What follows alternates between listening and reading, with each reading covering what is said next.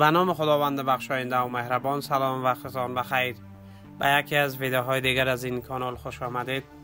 توجه کنید به چند رویداد کوتاه خبری که تازه به دسترس ما قرار گرفت. آخرین جزئیات از وضعیت هرات. روز چهارم فاجعه. منابع محلی در ولایت هرات از تخریب ده ها منزل مسکونی در پی یک زمین لرزه جدید در این ولایت خبر می دهند. منابع در صحبت با روزنامه اشت صبح می گویند که این زمین لرزه شامگاه دوشنبه هفته میزان هرات را دوباره تکان داد. در پی وقوع این زمین لرزه دست کم سی منزل مسکونی در روستاهای شکرآباد، بیدک، قاشقی و افزل در ولسوالی گلران ولایت هرات تخریب شدند. به گفته منابع ده ها منزل مسکونی دیگر در این ولسوالی در معرض تخریب شدن قرار گرفتند. این زمین لرزه در مرکز شهر هرات نیز سبب فرو ریختن دیوارهای خانه های مسکونی شده است. این در حالی است که شامگاه روز گذشته هرات گواه زمین لرزه با قدرت 5 یا یک ریشتر بود. در سه روز گذشته چندین زمین لرزه و پس لرزه در هرات رخ داده است که در پی این حادثه طبیعی تاکنون مرگ چندین هزار تن تایید شده است. مراسم خاکسپاری 300 جسد قربانیان زلزله هرات. وزارت دفاع طالبان روز دوشنبه هفته میزان اعلام کرد که جسد بیش از 200 قربانی زلزله هرات را پس از تکفین در قول اردوی 207 الفاروق در ولسوالی زندجان به خاک سپرده است.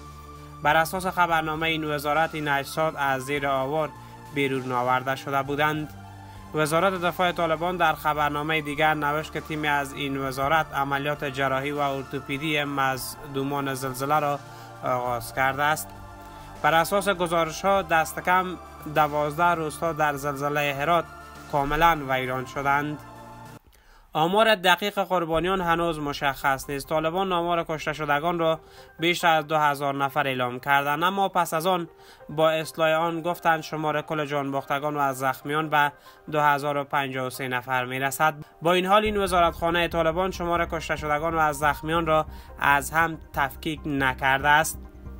وعده ملا برادر ملا عبدالغنی برادر معاون اقتصادی رئیس الوزرای طالبان گفته است که این گروه برای زلزله زدگان ولایت هرات منازل معیاری اعمار خواهد کرد. خبرگزاری باختر تحت کنترل طالبان روز سه شنبه به نقل از ملا برادر گزارش داده است که این گروه برای آسیب دیدگان ناشی از زمین لرزه های پیهم در هرات 1200 تا 1500 منزل مسکونی می سازد او افزوده است که طالبان این منازل مسکونی را به شکل معیاری و اساسی اعمار خواهد کرد.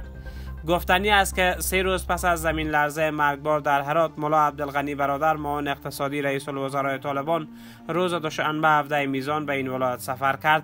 او در یک نشست خبری شمار قربانیان این زمین لرزه را سه هزار تن اعلام کرد. به گفته وی در پی این زمین لرزه ها بین 1200 تا 1500 خانه در هرات تخریب شده است. در این حال دفتر هماهنگ کننده سازمان ملل متحد در امور کمک های بشر دوستانه یا اوچا می‌گوید که شمار جان باختگان زمین لرزه در ولسوالی زندجان که کانون زمین لرزه های اخیر در هرات بود به 1294 نفر رسیده است. این دفتر در گزارش که امروز سه شنبه نشر کرده شمار زخمیان این حادثه را 1688 نفر اعلام کرده است. و گفته اوچا تا این لحظه 485 نفر شامل 191 مرد و 294 زن مفقود هستند و تلاش های جستجو و نجات با حمایت شرکای بین المللی از جمله ایران و ترکیه ادامه دارد. در گزارش اوچا آمده است که در منطقه کانون زمین لرزه تمام خانه ها تخریب شده است. اوچا افزوده است که شش مکتب در زندجان به همراه سه مرکز رشد کودکان و دو صنف آموزشی جامعه محور و ایران شده است. همچنین به گفته اوچا هشت مدرسه نیز دچار آسیب جزئی شده است. اوچا افزوده است که تخمین زده می شود که تا امروز 12110 نفر در پنج ولسوالی هرات زندجان، گلران، انجیل، کوهستان و کشک رباط سنگی در زمین لرزه اخیر آسیب دیدند به گفته اوچا پس از ارزیابی کامل ممکن است تعداد خانواده های متضرر افزایش یابد اوچا گفته است که علاوه بر ولسوالی زندجان تصاویر ماهواره سطوح شدید تخریب در ولسوالی انجیل را نشان می دهد. این دفتر اضافه کرده است که 5 میلیون دلار برای کمک رسانی با آسیب دیدگان زمین لرزه اختصاص داده است. اوچا گفته است که با توجه به اینکه برنامه فعلی واکنش بشردوستانه افغانستان تنها 34 درصد تحمیل شده است منابع اضافی برای پاسخگویی به زمین لرزه ضرورت است.